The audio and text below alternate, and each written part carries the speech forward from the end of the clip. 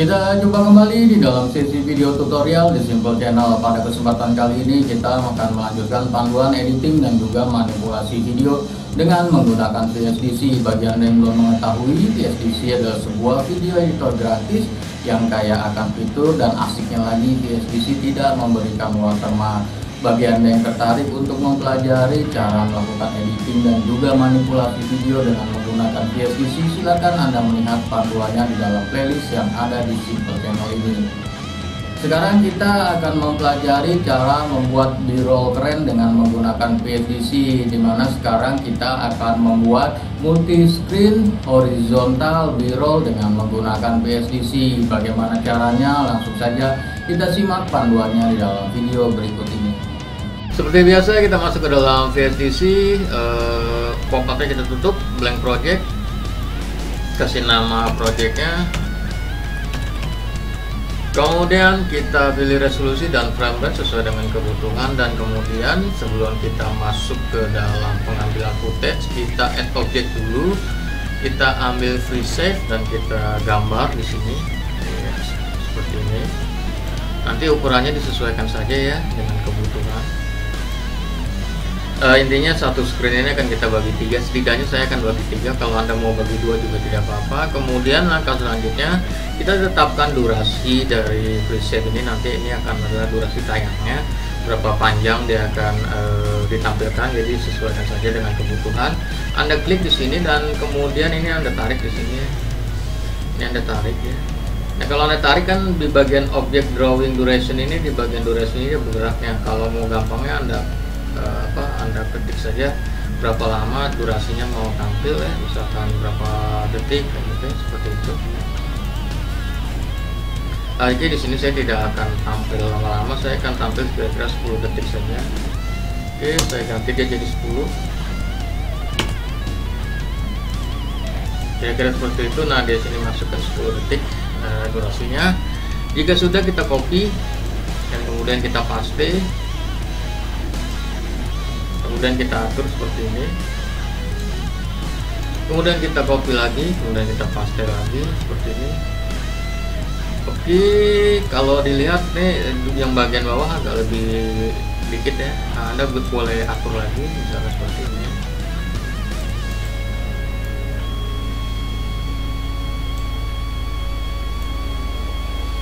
Oke kira-kira kurang lebih kurang lebih seperti itu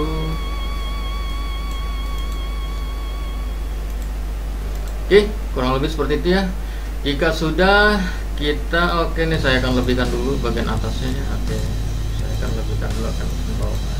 Oke, jika udah sudah seperti ini kita masuk ke dalam preset satu double klik klik dua kali dan kemudian akan masuk ke dalam penyettingan baru kita add objek kemudian video dan kita ambil uh, footage-nya.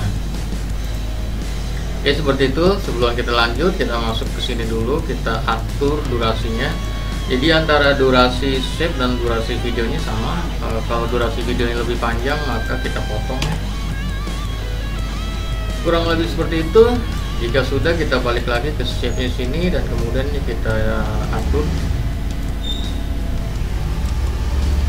Oke kita atur seperti ini ya. Oke. Nah anda bisa gunakan patokan yang ini nih. Apa namanya di sini nih? Ya. kemudian yang ini nih ya ini kalau ini garis nih saya pakai ini garis. Ini garis. Kemudian kalau yang ini layar nih. Ya, jadi layar menutupi ya jadi anda bisa gunakan itu. Saya cukup biasanya menggunakan garis ini. Garis biru ini adalah untuk uh, layar nanti screennya ya. Jadi ya, sebagai acuan oke. Okay. jika sudah selanjutnya jangan lupa masuk ke dalam blend mode nya kita rubah blend mode nya menjadi source in.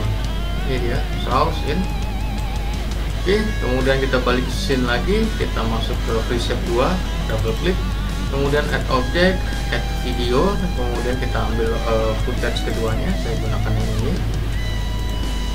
Oke, sebelum kita lanjut, oh di sini uh, shape-nya lebih, oke lebih panjang ya, saya ganti saja videonya. Jadi yang. Oke, kemudian dipotong,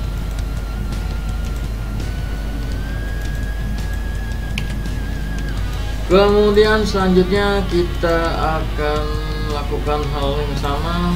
Ini kita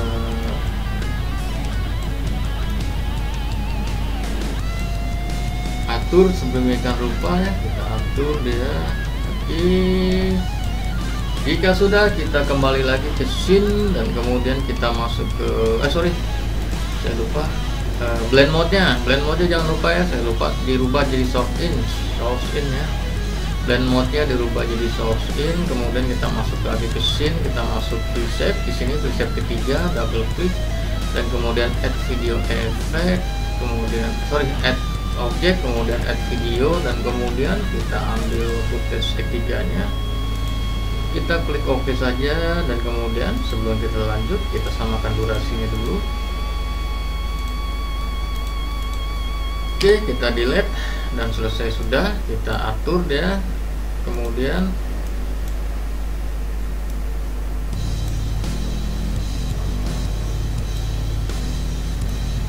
agar dia menutupi dari shape-nya kita atur agar dia kelihatan. Nah kira-kira kurang lebih seperti ini. Blend mode jangan lupa. Saya biasa suka lupa di blend mode sini kita rubah jadi source in kemudian kita balik ke scene nah langkah selanjutnya anda bisa pasang untuk kebutuhan eh, apa namanya color ya untuk permainan color. Di sini anda bisa gunakan eh, apa namanya di sini Instagram style untuk colornya untuk permainan warnanya. Oke kalau anda tidak mau pakai tidak apa-apa. Kemudian selanjutnya terakhir kita akan pasang fade in dan fade out di dalam footage ini agar keluarnya agak lebih uh, cantik ya lebih dramatis oke kita masuk ke free shape. Di sini klik kemudian klik uh, di dalam uh, shape nya seperti ini dalam footage nya kemudian masuk ke video effect. Kemudian kita gunakan uh, transparency fade in. Kemudian yes. Kemudian oke okay saja from scene behind ya behind sorry from scene behind.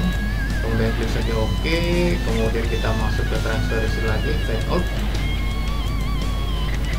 Oke okay, kira-kira kurang lebih seperti itu kita balik lagi ke sini kemudian kita balik ke sini kemudian kita klik dan kemudian kita masuk lagi. Back in yes oke saja. Kemudian lagi kita masuk lagi transparansi fade out oke okay saja. Oke. Okay. kemudian kita balik lagi ke scene kemudian kita masuk ke scene yang ketiga double klik kemudian ketik apa diklik itunya footage-nya transparansi fade in yes oke okay.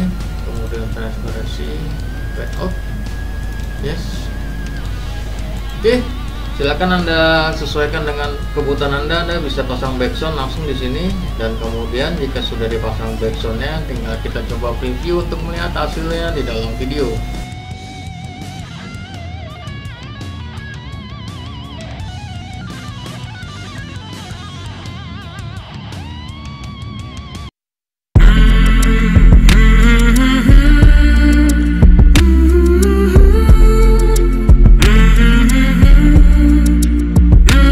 Tadi cara membuat biro multiscreen horizontal dengan menggunakan VSDC. Bagi Anda yang masih tertarik untuk mempelajari bagaimana cara VSDC bekerja, silakan Anda subscribe ke dalam Simple Channel ini, tekan tombol merah yang ada di bawah video ini. Dan kemudian setelah Anda subscribe, jangan lupa juga untuk mengaktifkan tanda loncengnya. Bagi yang sudah subscribe, kita akan jumpa kembali dalam video-video berikutnya. Peace.